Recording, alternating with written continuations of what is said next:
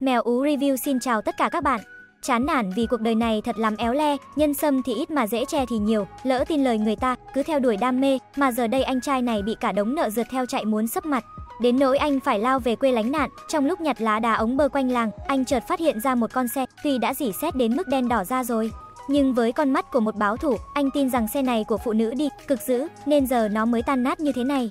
Nghĩ đến cánh cửa về nhà đang bị khóa chặt, anh tự tin sẽ có thể dùng con xe này làm chìa khóa, liệu có thật đúng như những gì anh đang nghĩ hay không? Cùng chờ đến cuối video để khám phá nhé. Vì ở ngoài trời đã lâu nên mọi bộ phận của xe đã bị oxy hóa hết cả. Nhưng không sao, bàn tay làm nên tất cả, anh thanh niên nhanh chóng bắt tay vào việc, đầu tiên phải tháo rỡ mọi thứ ra đã, trông anh cực kỳ thành thạo trong việc phá ra ấy nhỉ. Đúng là báo thủ nhưng có tài nha à các bác, hết con ốc này đến con ốc khác được anh bế hết ra ngoài, tháo hết mình, tháo nhiệt tình, tháo không trượt phát nào. Mọi dụng cụ được dùng để vặn ốc đều được anh sử dụng tối đa, từ máy móc đến tay chân đều phối hợp cực kỳ nhịp nhàng và ăn ý. Sau một thời gian khá dài, cuối cùng chiếc xe cũng được dỡ ra từng bộ phận một với lớp dây dợ dài thòng lượt thượt. Sau đó ông anh xử lý động cơ đầu tiên, lấy chất tẩy dỉ sét quét xung quanh phía ngoài, sau đó xịt nước sạch sẽ. Bộ phận này vẫn còn khá ổn áp, không đến mức quả hư hỏng. Bộ phận tiếp theo, ông anh lại tiếp tục quay tay không ngừng nghỉ, ốc gì mà ốc lắm thế không biết, kể mà có ốc xào với cút lộn thì từng nào cũng được, chứ vật lộn với mấy con ốc này mà ông anh toát hết mồ hôi rồi.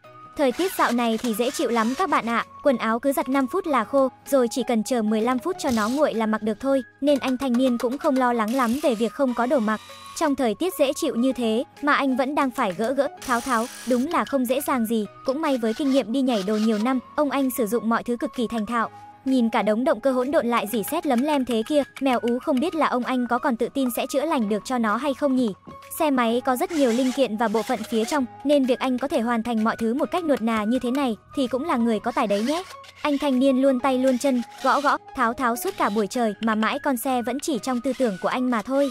Vì trước mặt anh lúc này chỉ là đống sắt vụn không hơn không kém, dù người nhà không ai tin rằng anh có thể làm được. Nhưng anh thanh niên thì khác, không có gì ngoài sự tự tin, anh vẫn quay tay không ngừng nghỉ, kiểu gì chả có công, ít ra cũng là công cốc nhé. Trong lớp dầu nhớt anh đổ ra kia, nó không phải là màu đen nữa, trông nó còn tối hơn cả tương lai của thị nở trong chuyện trí phèo luôn mới sợ chứ. Vật vã muốn giã rời hai cánh tay, cuối cùng cũng tháo được mọi thứ ra để cọ rửa, anh thoăn thoát cọ rửa chiếc lốc máy, nhưng rồi anh phát hiện ra nó bị thủng một mảng lớn. Anh cắt một mảnh thép khác, mài sạch vị trí cần vá, rồi hàn miếng kim loại đó vào chỗ thủng. Vợ con đâu thấy cảnh này, mới lỗ tí vốn đã nói này nói kia. Càng nghĩ anh lại càng cay cú, rõ là đã theo lời người ta dạy làm giàu rồi, mà sao quá trình làm giàu của anh, nó lạ lắm. Mới nghĩ lơ mơ một lúc mà anh cũng đã hoàn thành được chiếc lốc máy vị vỡ ra ban nãy, anh tiếp tục mang những bộ phận khác ra cọ dừa. Con xe Vespa từng ra là siêu mẫu trong mơ của bao người, ấy vậy mà giờ đây lại có thể dỉ xét đến mức này, đúng là ai rồi cũng khát, lên voi xuống chó trong chớp mắt mà thôi.